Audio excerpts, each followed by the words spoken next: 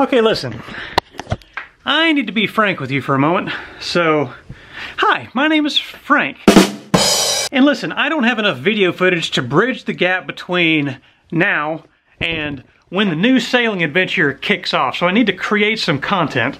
So what this video is going to be about is this dinghy and also this little grill that you see back there. And since I realized that that is not exactly the most uh, exciting stuff to make a video about, I want to give you five seconds to consider if you want to watch this video or not.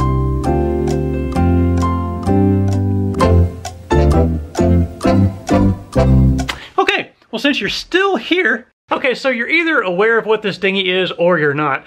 If you're not, I actually created an eight-part video series of myself building this dinghy. So if you want to watch that video series, just click the link right there. Right there and you can watch that eight-part video series. I want to tell you about some of the changes that I've made to this dinghy since I built it. Okay, one of the most apparent things that you see right here is the gunnel guards. That is this uh, kind of padded thing that is protecting the gunnels, all of this stuff. And uh, beneath the, the fire hose is actually a layer of yoga mat. So that just kind of gives it a bit more, uh, you know, cushion. And also, I guess it does add a little bit of reserve buoyancy, but, you know, not all that much. Another thing that I added are these mesh bags here. They're just open top bags, and this will give us a space to basically just dump a bunch of, you know, lines in, like our, our, uh, our docking lines or things like that. I've got another bag over there, and then another bag back there in the very all right, let's talk about oars. The darker pair on the top here, these are actually the ones that I made, while these bottom ones are the ones that we're going to be taking with us. And let me explain why that is. I actually took these oars one day and I, I just I ran a kind of an experiment on them. I set them out there in the driveway in the middle of the hot sun, the middle of the summer, and just let them cook. What happened was at the end of the day, they kind of they warped a little bit. You know, looking along the shaft of the oar, you could see that there was kind of a a bit of a bend in them. And I just figured, well, dang, if one day cooking in the sun, you know, caused that, then it's just going to be like a a noodle, you know, uh, out there getting cooked every single day. So anyways, that, that just worried me. So what we did, we got this second set of oars back here. These are super duper nice oars. And these guys, they gave us a you know bit of a discount on these things, and they are very, very nice. So this is what we're going to be going with. And by the way, I have reluctantly torture tested these oars through the same, you know, sun test I put these through, and these did not bend at all. One difference in these oars is that they are tapered. They go from one and a half inch right here at the, whatever you call this part, they go up to two inches up here by the handle. And what that does, that moves a lot of the weight inboard. So you have, basically they're balanced better. Where these have a lot of weight outside the boat, it just makes rowing much, much easier when you have balanced oars. And speaking of the taper, let me show you one other kind of cool thing that happens, uh, or that I'm going to take advantage of with this taper. So check this out. Let's put you right down there. Okay, I made this thing. It is a little collar that slides onto the skinniest part of the oar right here. And what this is going to allow is we can put a lock through these little holes and then we can, you know, attach the oars basically to a hard point in the dinghy to keep the oars from walking off or to keep them from, you know, getting stolen, in other words. You really can only do so much to prevent theft of, you know, your your dinghy and stuff like that from somebody who really wants to take it. But what you can do is make your stuff uh, inconvenient to steal. And if you know your dinghy is less convenient to steal stuff from than somebody else's, chances are that somebody else's stuff is going to get stolen and, and not yours. So kind of a security device. Simple, but hopefully it's going to be, you know, effective. Okay, and lastly, I think lastly, concerning the dinghy, one of the biggest changes I've made is actually something that's quite subtle. And what that is, it is these hard anchor points right here. I have two of them up on the, uh, the bow locker, and I also have another two of them back here on the buoyancy tanks. So I can now lift this entire dinghy using these hard points. And let me show you how that works. It works with the help of the dinghy lifting harness. Behold, the dinghy lifting harness. Now, this is a contraption of my own creation made out of one inch tubular webbing that I did all the sewing on. I just want to make it very clear that I did all of this and it's amazing. Yep, pretty cool. So this webbing, this uh, dinghy harness, it clips into those hard points back there. And then it has this bit in the middle where you can lift it up like that, clip it into a halyard, you know, one way or another, and then the entire boat can be lifted out of the water using a halyard.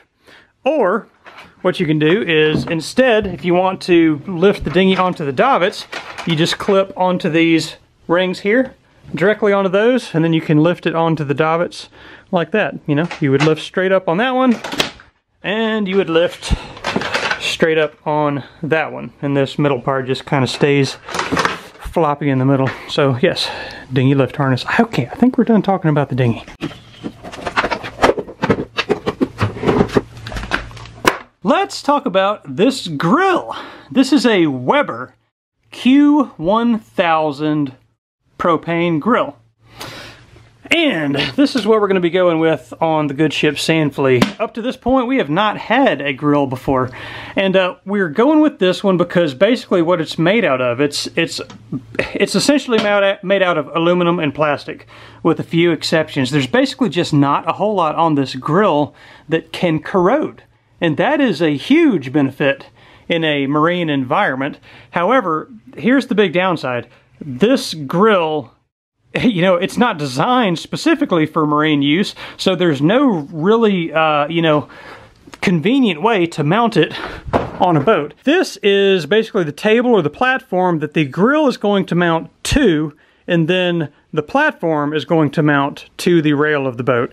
This platform is made out of 3 quarter inch plywood that I covered in epoxy and fiberglass and then I drilled oversized holes where all of these uh, mounting holes are. I filled those with thickened fiberglass and then drilled the final hole in the thickened fiberglass. So all of this stuff, that you know, there's no bare wood in, in any of these holes.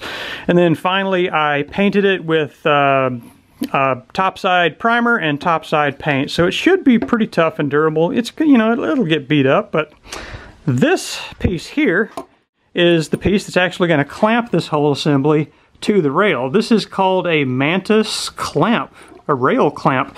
And it comes in a variety of sizes. Um, you know, this particular one is for a one inch rail, which is what our boat is. And these pieces here are going to mount back here where those, those four holes are. There's a, I've got a pair of those. And then this is the other uh, main component. This metal bar here, it's an aluminum aluminum bar, one and a half inches wide, and I don't I don't know how thick it is, maybe 3 sixteenths or something like that.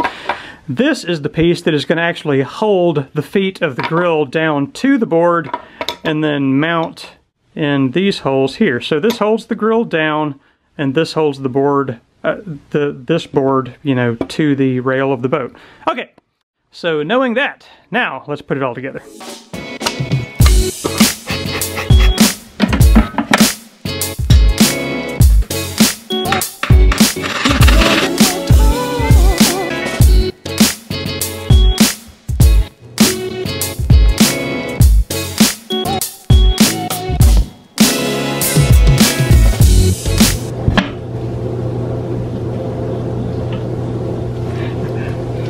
Okay, so there it is. The grill and the platform and everything is now temporarily mounted to this little rail. And this this thing is, this is hollow, you know, also. So it's I think that's why it didn't really clamp on there as well.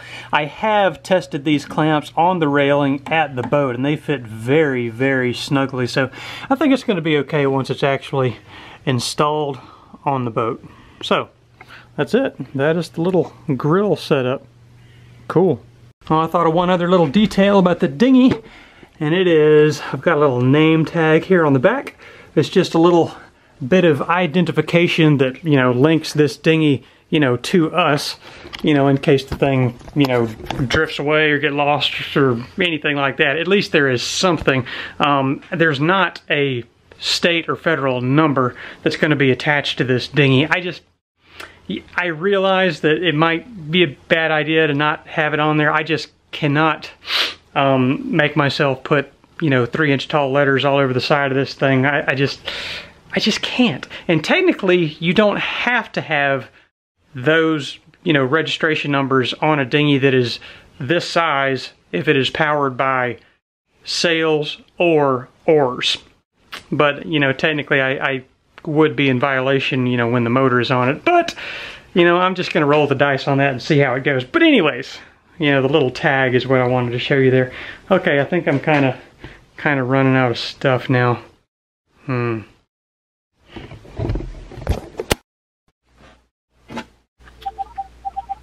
Hello, I need to make an appointment to get a tattoo.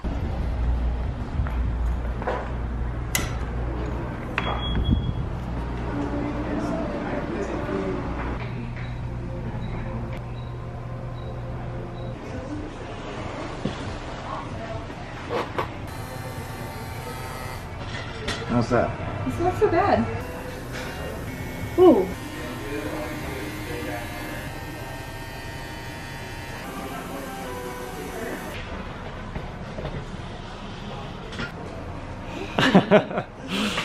nice, honey. Yes.